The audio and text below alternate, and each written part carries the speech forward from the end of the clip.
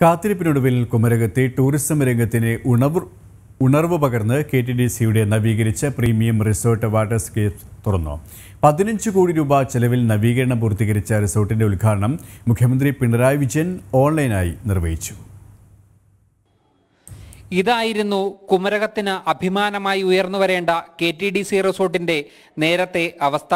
രണ്ടായിരത്തി പതിനേഴിൽ അറ്റകുറ്റപ്പണികൾക്കായി അടച്ചുവെങ്കിലും പണി നീണ്ടുപോയത് കെട്ടിടങ്ങൾ കാട് പിടിച്ചു നശിക്കുന്നതിന് ഇടയാക്കിയിരുന്നു. ഇത് സർക്കാരിന് തന്നെ പേരുദോഷമായ സാഹചര്യത്തിലാണ് നവീകരണ പ്രവർത്തനം പൂർത്തിയാക്കിയത്. അതിമനോഹരമായ രീതിയിൽ ഇന്ന് റിസോർട്ട് ഒരുക്കിയിരിക്കുന്നു. നാൽപ്പത് കബാനകൾ conference hall superior lake view canal view garden view എന്നിവയുമായി പ്രകൃതിയോട് അലിഞ്ഞു ചേരുന്ന രീതിയിലാണ് കുമരകത്തെ ഈ റിസോർട്ട് നവീകരിച്ച് പ്രവർത്തനം ആരംഭിച്ചത്. കുമരകം പക്ഷി സങ്കേതം ഉൾപ്പെടുന്ന നൂറ്റി രണ്ട് ഏക്കറിലാണ് റിസോർട്ട് സ്ഥിതി ചെയ്യുന്നത്. പതിനഞ്ച് കോടിയോളം പുനരുദ്ധാരണ പദ്ധതികളാണ് ഇവിടെ പൂർത്തിയാക്കിയത്.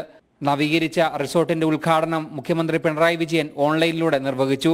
കല്യാണമടക്കമുള്ള പാർട്ടികളും മറ്റ് ഇവന്റുകളും പ്രോത്സാഹിപ്പിക്കുക എന്ന ലക്ഷ്യത്തോടെയാണ് resort നവീകരിച്ചിട്ടുള്ളതെന്ന് K T D C chairman M Vijayakumar പറഞ്ഞു. പ്രധാനപ്പെട്ട ഇവന്റ്സ് ഒക്കെ ഇവിടെ നടത്താൻ പറ്റും. പ്രത്യേകിച്ച് ഈ ഈ മാരേജ് റിസപ്ഷൻ എന്ന് പറയുന്നത് ഇവിടുത്തെ ഒരു മുമ്പൊക്കെ ഉണ്ടായിരുന്നു. വിദേശികളടക്കം ഇവിടെ വന്നിരുന്നു.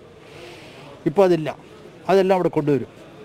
ഈ കോട്ടയത്തും കേരളത്തിലും പൊതുവിൽ ഇവിടെയും ആ രൂപത്തിലുള്ള ഒരു പ്രധാന കേന്ദ്രമായിട്ട് വിശാലമായ പുൽത്തകടിയും അതിഥികൾക്കും റിസോർട്ടിനകത്ത് സഞ്ചരിക്കാൻ ഇലക്ട്രിക് ബഗിയും കായലിൽ ബോട്ടിംഗ് സൗകര്യവും ഇവിടെയുണ്ട്.